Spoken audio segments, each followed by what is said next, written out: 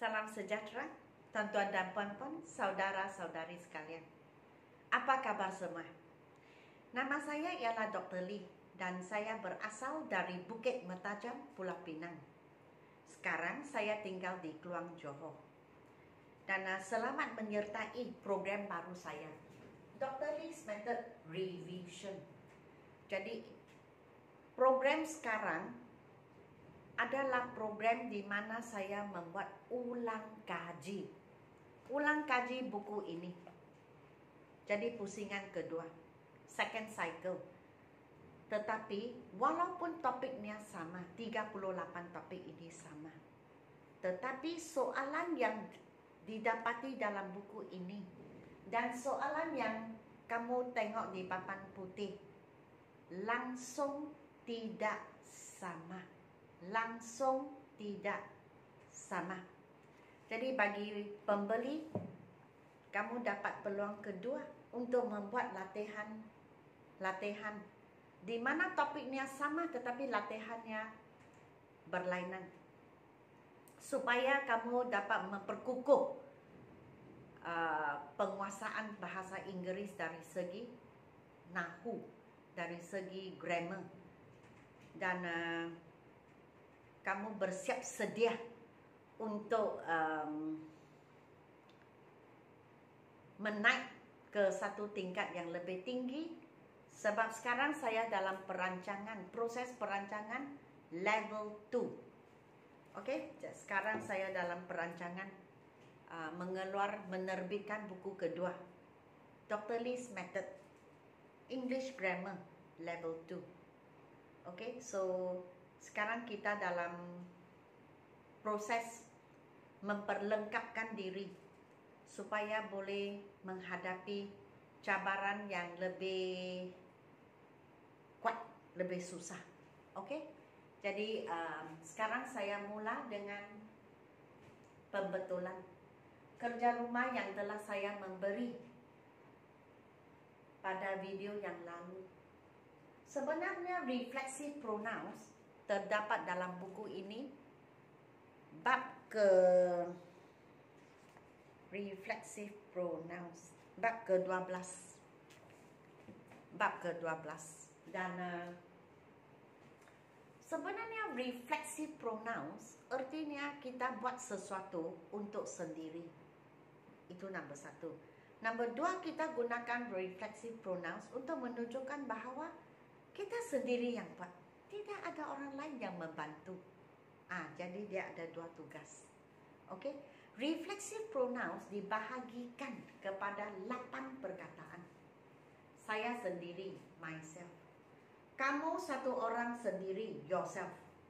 Kamu semua sendiri, yourselves. Sudah tiga. Kita atau kami sendiri, ourselves. Mereka sendiri, themselves. Seorang lelaki sendiri himself. Seorang perempuan sendiri herself. Seekor binatang sendiri itself. Kesemuanya lapan. Jadi ke lapan-lapan perkataan ini dipanggil reflexive pronouns. Buat untuk sendiri. Atau sendiri yang membuat tanpa pertolongan dari sesiapa. Okey, jadi tengoklah. Sama ada kamu dapat jawaban yang betul saya sudah buat garisan merah.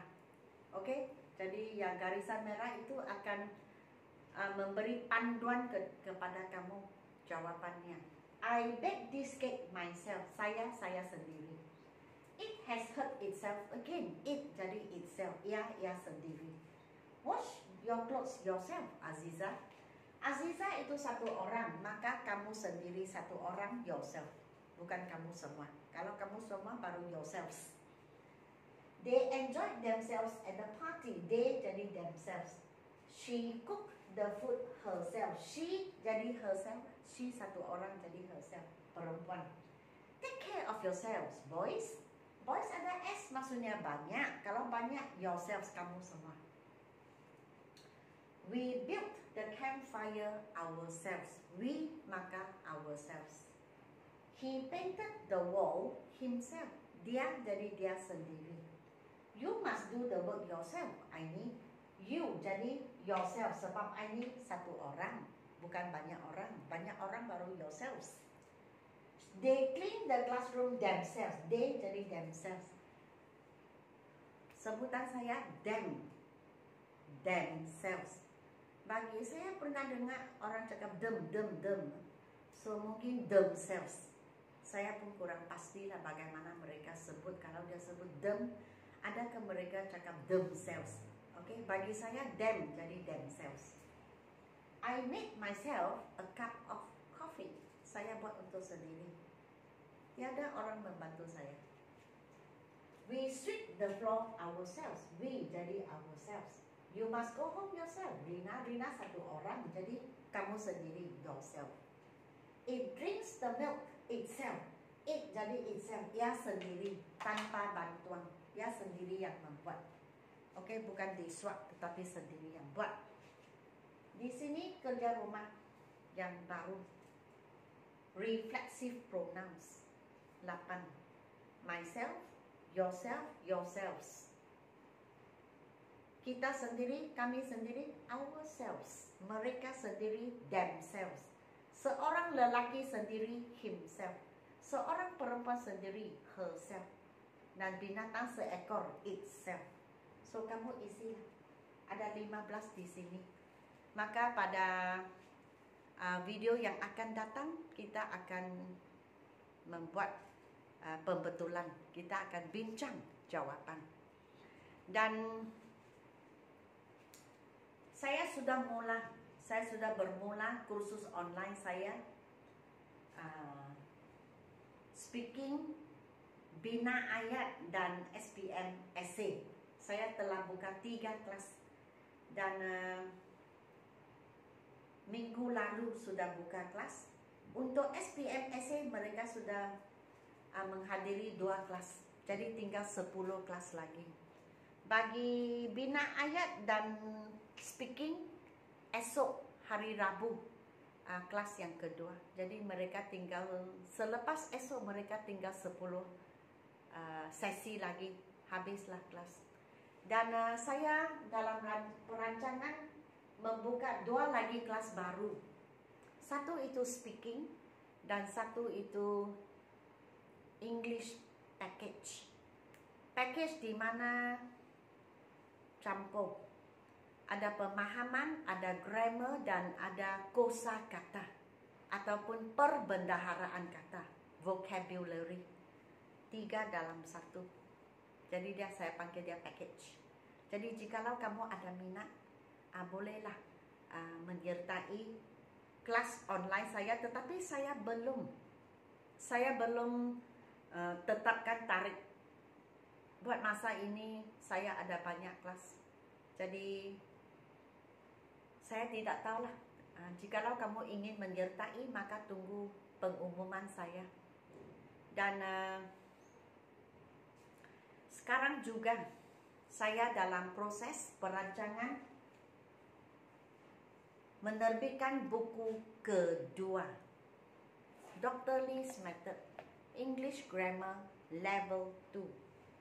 Tetapi 38 bab ini akan muncul dalam level 2. Hanya soalannya lebih susah, lebih mencabar. Okey, dan mungkin saya tambah dua atau tiga bab yang baru.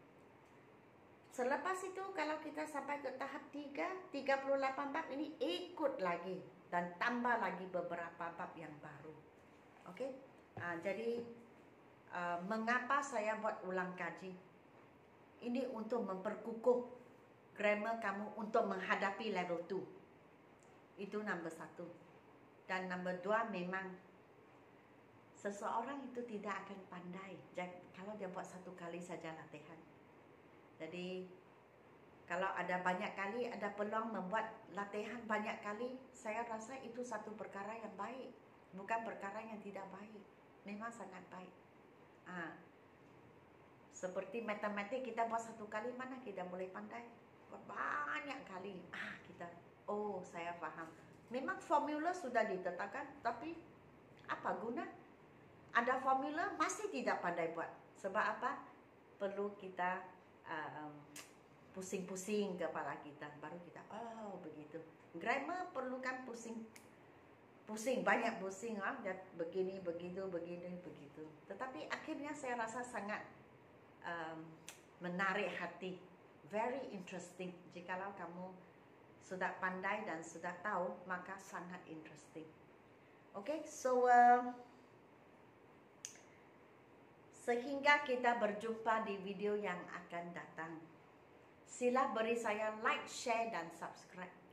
Terima kasih kerana menonton video saya. Dan uh, kita berjumpa lagi